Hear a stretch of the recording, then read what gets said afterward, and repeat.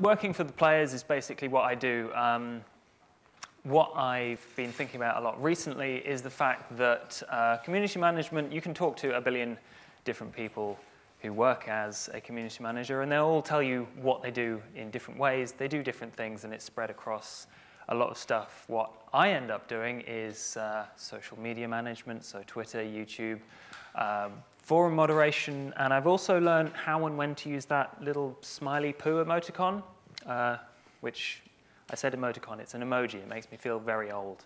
Um, I'm 25, by the way, so if that gives you some context about how and when people get into the industry, it's usually, it's usually a bit later. That's my face, uh, and my YouTube channel and my Twitter are basically where I started uh, making mistakes before I got into the industry. So YouTube, I made Let's Plays and stuff like that, and on Twitter, I talked about literally everything I was doing to uh, anyone who would listen. And I think that's probably one of the most important lessons, the first most important lesson, lesson that I learned is talking to people in the industry is unfortunately one of your best choices if you want to go straight for the job that you love. Um, think of a, a, studio that you enjoy the work of, so um, someone, either a micro studio or EA or Codemasters who are around the Midlands, and send them an email. Tell them what you're doing, ask for help, and uh, if, if they don't reply, don't be too heartbroken. They've probably got a lot going on. But um, there's, there's a, a community inside of the industry that you have to become a part of. And it's becoming a part of that by going to conventions. If you, if you have the opportunity to go to conventions, then that's probably priority number two beyond um, finding a channel where you can show off what you're doing, usually social media. Uh, I can't currently think of any other ways that quite as, as widely touch a, a diverse amount of people. And uh, showing people what you're doing is uh, the, it's the best way to, to let people know what, what's going on. Because if no one knows who you are and you send them a CV, uh, they're going to choose the person who they've heard of more often than not, unless they know them for being awful, which, uh, which can happen. So I work at the Art Arch Creatives. It's a co-working space in Leamington Spa. It's uh, got three resident micro studios who are all hiring, and I think that's probably another pertinent point that carries on from the last talk. There are a whole bunch of micro studios, whether they call themselves indie or not, and a lot of them are looking for community managers, for artists, for programmers, for ways to expand. And I, I don't know if you've seen I don't know if it's just a hashtag on Twitter, but the indie apocalypse is coming. Everyone who isn't in like a huge studio and uh, is protected by vast vats of money uh, is, is going to go under. And that's not quite uh, how I see it from the perspective of working in a small studio.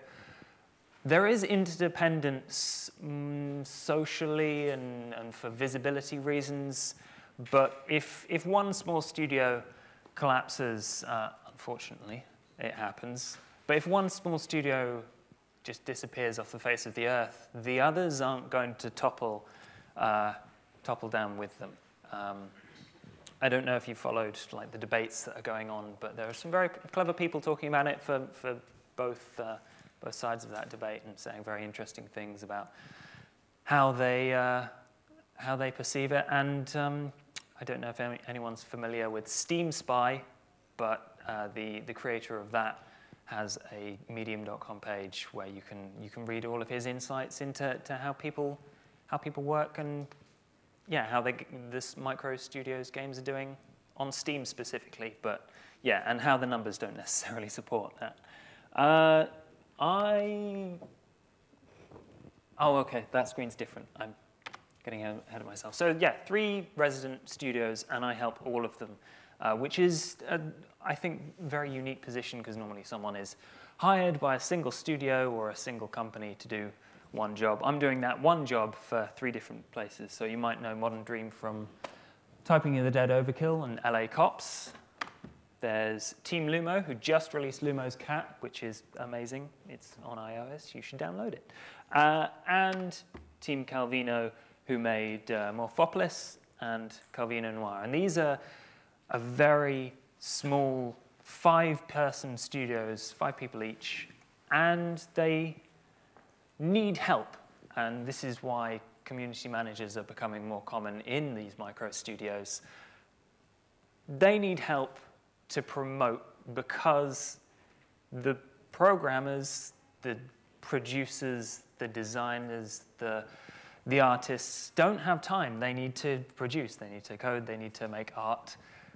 And being on social media 24-7, although it's, it's quite a lot of fun talking to people on Twitter, uh, they need someone to do that for them. And I think a lot of places are realizing this now. I've seen some smaller studios making jobs available for people that are interested in doing this job.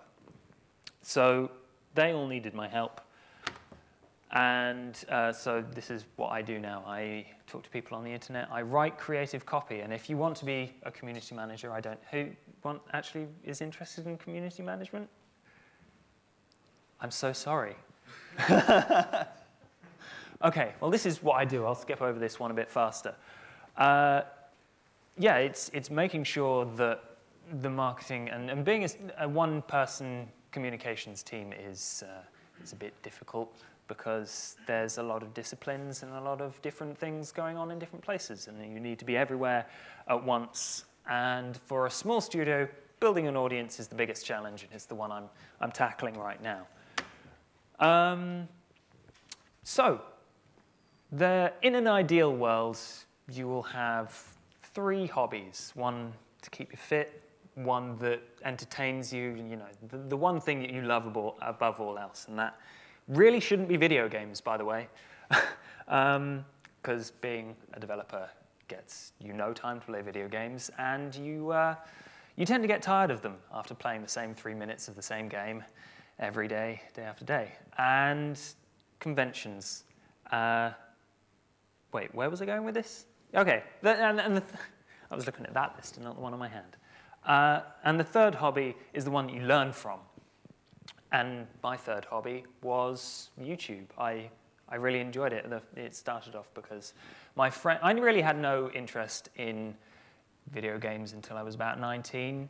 Uh, I was doing a biochemistry degree at that point, and just, you know, if you need context, it's, it's quite easy to transfer a lot of skills. But it did take me five years of uh, making mistakes um, by myself and, and making friends who, who were at these conventions and on social media and um, being and growing an audience on YouTube. And I think that isn't necessarily just uh, useful for people who want to go into community management.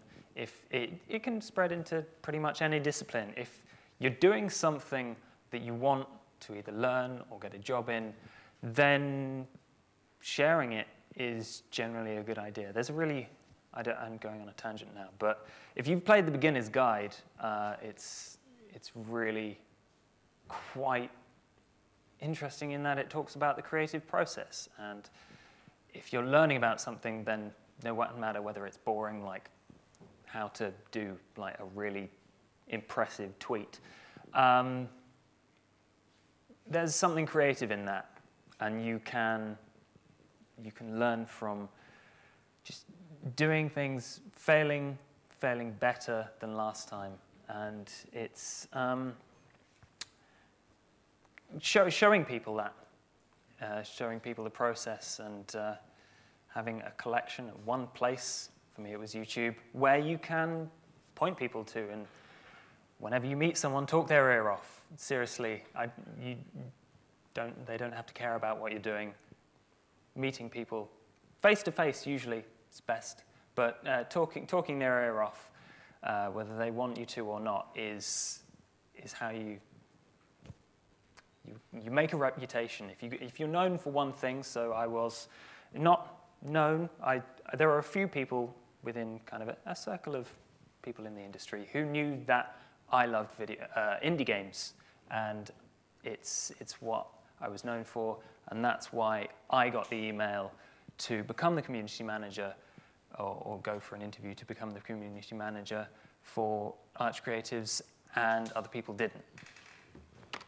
So the fact that they knew I talked to literally all of the people that worked there, and yeah. Um, this is a holdover from the uh, community management part of the talk. But I guess you're not quite so interested in that because I saw like two hands. So if you're interested in uh, game interviews, game recruitment process, uh, or the um, self-promotion process, then I can take any questions about that that uh, you'd like to answer, uh, like to be answered. What was on your previous slide? Some of these guys might not want to go into community management, but if they start their own companies or want to do this sort of stuff by themselves, they need to know what you do anyway. So, what were you going to say about this slide? I'm interested. Um, I'll start with the bottom one because I think that's probably the most interesting. Uh, your, your, that third hobby is something that you're going to be passionate about. You want it, you want it, you want to learn it. And moving from science to video games, that passion uh, moving into passion isn't enough to get you a job. It's not enough to motivate you forever. But if you have that passion to start off with, you can build, you can build a routine. So even if you're, you're feeling awful and you've had a lot of coffee, uh, you can still work on the thing that you know you love. It's just not, you're not feeling it in the moment, and you can continue talking about it, you continue working on it, uh, and that passion is what starts the drive to then move into a job or just you know something that you really enjoy. Um, and I think the other points on that slide are all things that I think are very important to community management. But if you are a developer at a studio, then you're going to have an, uh, probably a Twitter account, maybe a Facebook group that uh, you're, going to be, have some kind of public face most of the time, especially in micro studios. You're going to to need to help out the team because I, I don't know if anyone's if anyone remembers the numbers for like GTA, the development budget was a ridiculous number, hundreds of millions of pounds, but the marketing budget, budget was an identical number to, they, they spent exactly the same on marketing. And especially micro studios, they need all the help they can get because they can't spend 100 million on a TV advert. So any public-facing person needs at least a modicum of the first two. So you're going to be, need to be able to hold a conversation, but also the second two, honesty, being honest with your audience, knowing who they are, um, knowing what they're interested in, what can you know pique their interest, and knowing what you need to say without upsetting them. Uh, it's, it's not always it's not always going to work like that, especially as community management, just because you're talking to so many people in so many different places. But yeah, being honest with them, yourself, and uh, I guess the press as well. You're going to be spending a lot of time talking to them, doing interviews. Um, I think honesty is, is key if you're going to be talking to anyone ever. Or you could lie to them, I don't know. Uh, it might work out. So yeah. Questions? Hello. How does someone go from kind of biochemistry down to video games? Well, not down, up. it's it's it's a it's a sideways kind of wiggly movement. It's not necessarily downwards. Um, uh, I think. Okay, this is going to be a long story. I I went into biochemistry because I thought I had to go to university. And um, I have since learned that becoming and growing your skills and, and finding a job that you do love is way more important. And I went to university for the wrong reasons. And by the end of the third year, I really, am I allowed to swear? I really hated it. Um, so when my friend started writing for a video games website, I was like, hey, that sounds like a lot of fun. And so I started my YouTube channel at that point. Uh, and that's where I learned that video games were the thing that I wanted to do. I not only loved video games, I, I loved writing about video games, I loved making videos about video games, and I, I've dabbled in development. They're all awful, um, the things that I've made. But the creation process is what you've got to love. So that's how I found out, and then you know started working on this. I, I suppose a, a persona, online persona, at conventions and meeting people. That's that's what drove me from one to the other. Hate.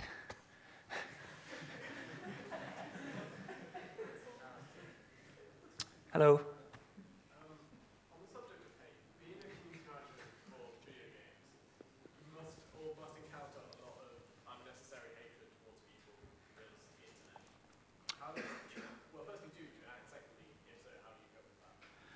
Um, working on a relatively small game means that the amount of hate that I've had is limited to people complaining about bugs and saying that, I don't know, a game, a free game on the iOS store has in-app purchases on it, which um, they were angry about, and they left a one-star review, and it was very funny. Um, but respond, so you wanted to know how I respond to people like that?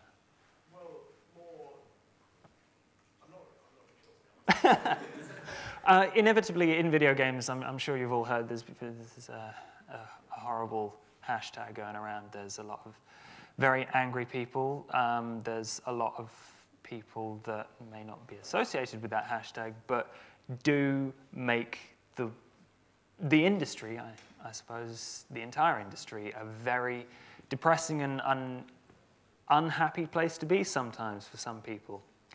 Um, and to deal with that, I think talking to those people can get you so far. So, say on a, a, Steam forum I moderate, I talk to people if they're like, oh, this thing didn't work. And I'm like, oh, sorry to hear that. And then I either tell the programmer or, or we try and find a workaround or something like that.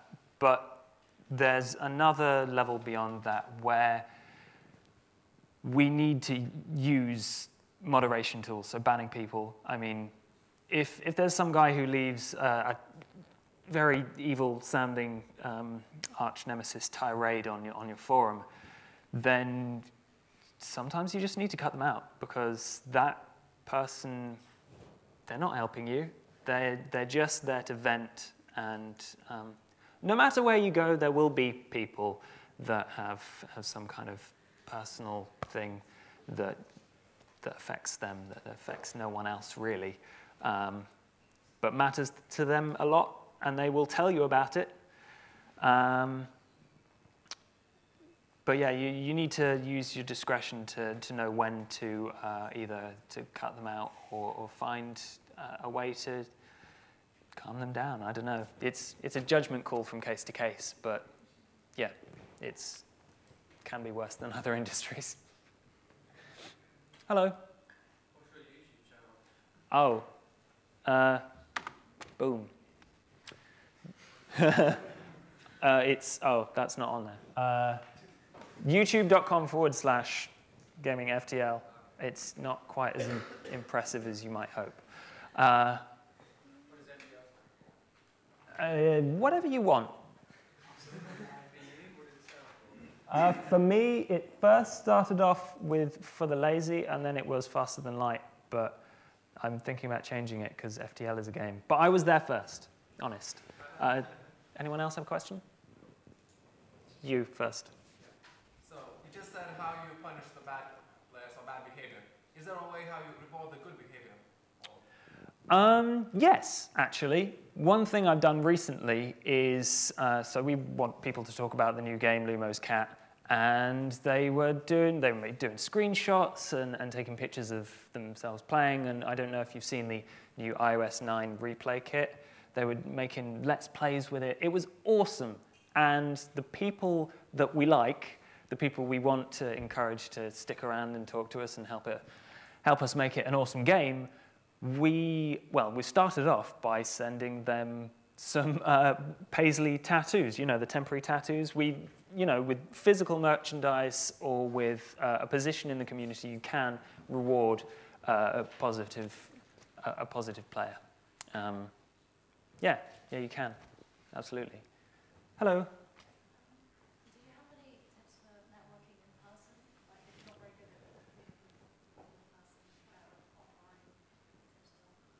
Okay, yeah.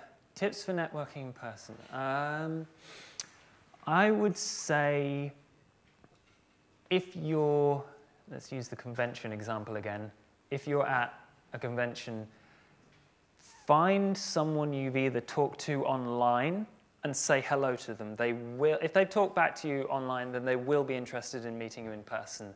And uh, I'm sure they will be interested in what you have to say.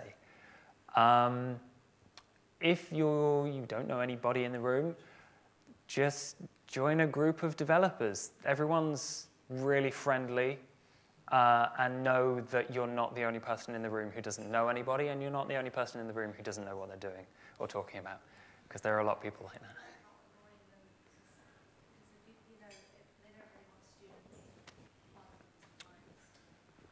Um, if people don't want you to talk to them, you'll know. uh, I think I can talk for the majority of developers. If they're at a social function, then they will want to talk to anyone. If you go up to someone that either you know, uh, not personally, like uh, the person you probably see most at, at convention is Rami Ismail, and he's very clever and he doesn't mind anyone talking to him. Um, so yeah, if there's someone you want specifically to talk to, make a beeline for them uh, and be a little bit rude and interrupt them. Just, you know, say, hi, can I, can I interrupt you?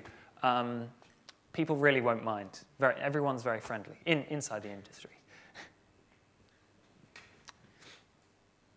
um, oh, hello. Um, ooh. Okay. It really depends you've, you've got to pick and choose the, the ones that you know people are going to be at, the people that you want to talk to. Uh, the best conventions, I don't know, EGX isn't, wasn't that good this year. It was fun, but it wasn't that good. Um, Game City next week. Find a day. It's on for from the 22nd, tomorrow, till the 30th. Uh, and there are tons and tons of industry people there, as well as people from the public. But Everyone turns up because it's a really good time.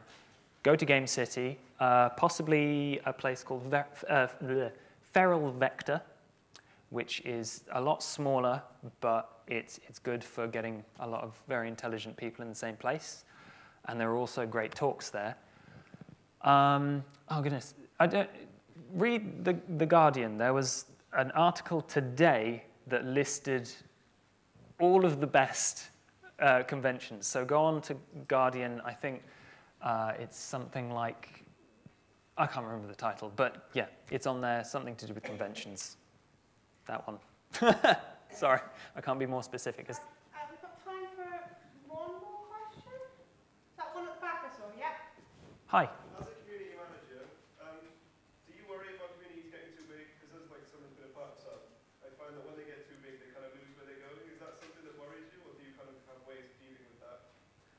Uh, that's not a problem I've run into right uh, so, so far. But it is possible to not have one that's too big, but to have a subgroup that ends up getting too loud and too boisterous, and they end up forcing everyone else out. Um, they, they force people out because their opinion ends up getting heard more often, and they say they say a lot of things that uh, maybe the other people disagree, and then they leave. And that's fine if you just want those, those group of usually very passionate people in your community. But it can just kill off the rest. Um, I, don't, I don't think there's a problem with communities getting too big, uh, aside from the fact that if you're just one person and you're talking to 300,000 people, then, you know, that might be a bit difficult. But at that point, some semblance of self-management tends to happen. So yes and no, but mostly no.